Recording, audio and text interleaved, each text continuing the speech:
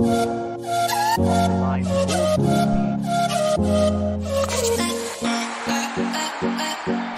that's huge. It's disappeared way into the stand. He's an improved player now. He make high range of shots. What is he going to do?